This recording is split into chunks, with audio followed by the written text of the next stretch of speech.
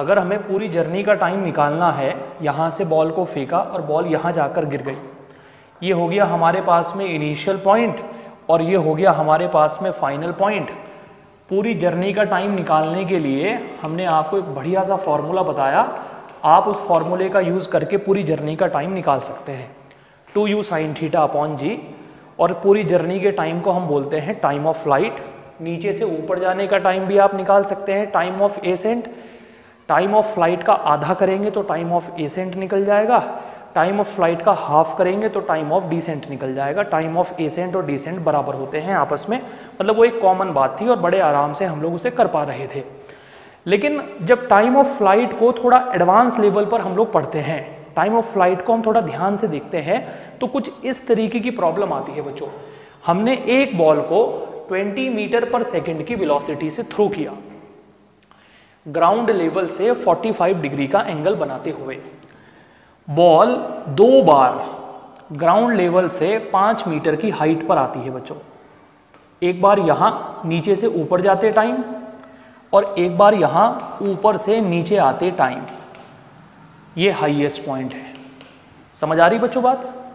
Ball दो बार।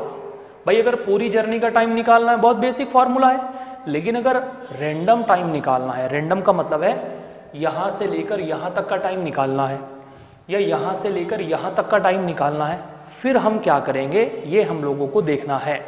देखो ball दो बार ग्राउंड लेवल से पाँच मीटर की हाइट पर आ रही है। तो जो मेथड मैं अब अप्लाई करने जा रहा हूँ, बच्चों, अगर वहाँ से टाइम की दो वैल्यू निकल कर आती हैं तो ये बात प्रूफ हो जाएगी कि बॉल दो बार ग्राउंड लेवल से पाँच मीटर की हाइट पर होगी। और अगर टाइम की एक ही वैल्यू निकल कर आती है तो बॉल एक ही बार पाँच मीटर की हाइट पर होगी। और जब बॉल एक बार कुछ हाइट पर होती है तो वो हाईएस्ट पॉइंट होता है, ये बात याद रखिएगा। ठीक है? चलिए, अब हम अप्लाई करते हैं मोशन की सेकेंड इक्वेशन वाई की डायरेक्शन में। मोशन की सेकेंड इक्वेशन है भैया u y t plus half a y t square ये हमारी मोशन की सेकेंड इक्वेशन है बच्चों। हमने इस पॉइंट को माना इनिशियल पॉइंट और इस पॉइंट को माना फाइनल पॉइंट वो तो तुम किसे भी मान लो, कोई फ़र्क नहीं पड़ता है। यानी चाहे तो इसे मान लो या इसे मान लो टाइम की दो ही वैल्यू निकल कर आएँगी। इसे माना इनिशियल इसे माना फाइनल जरा बताओ दोनों पॉइंट के बीच की, ध्यान से, दोनों पॉइंट के बीच की ऊंचाई कितनी है? भाई ये तो ज़मीन पर है, ये थोड़ी सी ऊंचाई पर है। तो इन दोनों के बीच की जो हाइट है हाइट हाइट बचो हाइट की बात कर रहा हूँ मैं, वो पाँच मीटर है। तो वाई की जगह रखा जाएगा फाइव समझ आ गई बात? कोई परेशानी, कोई दिक्कत तो क्लियर कर लीजिएगा। आप मुझसे वीडियो को पॉज करके तुरंत मेरे पास में ना कॉल कर लीजिएगा, अगर कोई परेशानी रहेगी यहाँ पर। अब देखो यू वाई को मैं क्या लिखने वाला हूँ बच्चों? यू वाई को मैं लिखने वाला हूँ यू साइन थीटा ये कितना है? ट्वेंटी ये कितना है? फोर्टी फाइव तो ये बनेगा मेरे पास में ट्वेंटी, कॉस फोर्टी फाइव, और ये बनेगा मेरे पास में ट्वेंटी साइन फोर्टी फाइव। समझ आ रही बच्चों बात?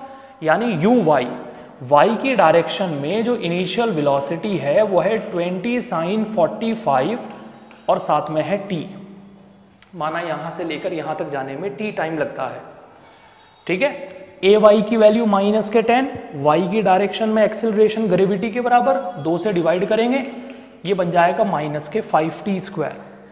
अब आप देखो बच्चों आगे, five is equal to twenty, sine forty five की वैल्यू है, one upon under root t minus के फाइव टी स्क्वायर। पूरी इक्वेशन को फाइव से डिवाइड करो। यहाँ फाइव से डिवाइड करेंगे वन, यहाँ फाइव से डिवाइड करेंगे फोर, यहाँ फाइव से डिवाइड करेंगे वन। तो ये बनेगा हमारे पास में one is equal to four upon under root two t minus t square. दोनों को इक्वल टू से इधर लेकर आते हैं। टी स्क्वायर माइनस के four upon under root t plus one is equal to zero. लो भैया, ये हमारी क्वाड्रेटिक इक्वेशन बन गई है टाइम के टर्म में। ओके बच्चों, ये हमारी क्या बन गई है? क्वाड्रेटिक इक्वेशन किसके टर्म में? टाइम के टर्म में। टाइम के टर्म में ये हमारे पास में क्वाड्रेटिक इक्वेशन है। अब चूँकि यहाँ अंडर रूट टू आ रहा है यार तो मुझे लगता है कि ये फैक्टर वाले मेथड से तो नहीं हो पाएगा। हमें कुछ नया ही मेथड चुनना पड़ेगा कोई नया ही मेथड देखना पड़ेगा। तो हम इसे क्वाड्रेटिक फार्मूला से सॉल्व करेंगे। क्वाड्रेटिक फार्मूला से बच्चों, कैसे?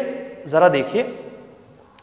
टी स्क्वायर के सामने लिखा हुआ है वन यानी ए की वैल्यू हो गई है वन टी के सामने लिखा हुआ है ये। यानी बी की वैल्यू हो गई है माइनस के four upon under root two और ये लिखा हुआ है वन यानी सी की वैल्यू हो गई है वन ए की वैल्यू हो गई है वन बी की वैल्यू हो गई है माइनस के four upon under root two और सी की वैल्यू हो गई है वन समझ आ रही है बात? अब देखिए हम क्या करने वाले हैं। टाइम की वैल्यू निकालने का जो तरीका होगा ना बच्चों, वो ये होगा। माइनस के b plus minus under root b square minus के four a c upon two a देखो यार, यहाँ के बाद तो मैं नहीं करूँगा, क्योंकि यहाँ के बाद बहुत ही आसान है। कुछ नहीं करना है। ए की वैल्यू है वन बी की वैल्यू है ये, और सी की वैल्यू है ये। तीनों वैल्यूज़ को उठाकर यहाँ यहाँ यहाँ यहाँ पुट करना है। एक बार बीच में प्लस लेना है, और एक बार बीच में माइनस लेना है। आप लोगों का आंसर बन जाएगा। इस तरीके से हम प्रॉब्लम को सॉल्व करेंगे। टाइम की दो वैल्यूज़ आपके सामने निकल जाएँगी बच्चों यहाँ से। एक बार बीच में प्लस लीजिएगा और इन सारी वैल्यूज़ को रखिएगा। एक बार बीच में माइनस रखिएगा, इन सारी वैल्यूज़ को रखिएगा। जो छोटी वैल्यू आएगी टाइम की, वो यहाँ से लेकर यहाँ तक का टाइम है। और जो बड़ी वैल्यू आएगी टाइम की, वो यहाँ से लेकर यहाँ तक का टाइम है बच्चों। बताइए आप लोगों को समझ आया या नहीं आया? किस तरीके से हम प्रॉब्लम को सॉल्व करेंगे? अरे हमें यहाँ से लेकर यहाँ तक का टाइम निकालना है ना यार। तो हमने मोशन की सेकेंड इक्वेशन को सिर्फ़ यहाँ से लेकर यहाँ तक अप्लाई किया। वाई की डायरेक्शन में। ये बहुत ज़रूरी है बच्चों कि मोशन की इक्वेशन को कौन सी डायरेक्शन में लगाया जा रहा है? एक्स की डायरेक्शन में या वाई की डायरेक्शन में? हमने मोशन की सेकेंड इक्वेशन को अप्लाई किया है वाई की डायरेक्शन में। जब हमने अप्लाई किया तो हमारे पास में पूरी क्वाड्रेटिक इक्वेशन बनी प्रॉब्लम को सॉल्व करेंगे, यहाँ से हमारा टाइम कैलकुलेट हो जाएगा। दो टाइम निकल कर आएँगे, एक नेगेटिव और एक पॉजिटिव सॉल्व करेंगे। दैट्स ऑल प्रॉब्लम सॉल्व करिए नोट डाउन फिर आगे बात करते हैं बच्चों।